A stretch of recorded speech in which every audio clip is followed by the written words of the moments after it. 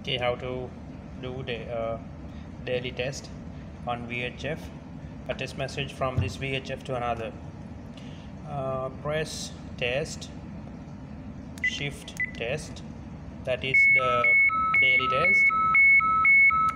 Okay everything is okay then call message.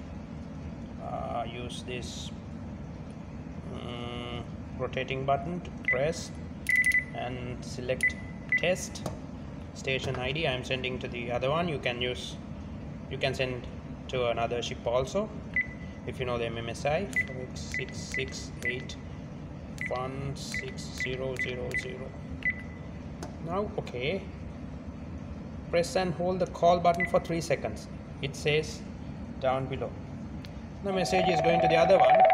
And you see test acknowledge receive. Automatically you will receive the uh, acknowledgement press enter.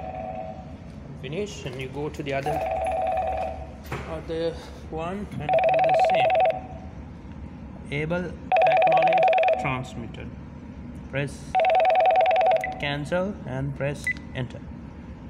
And uh, that's how and you can see the uh, sign of an envelope to see that test acknowledge has been received. To check press log received ordinary. See test acknowledge test call mm, that's it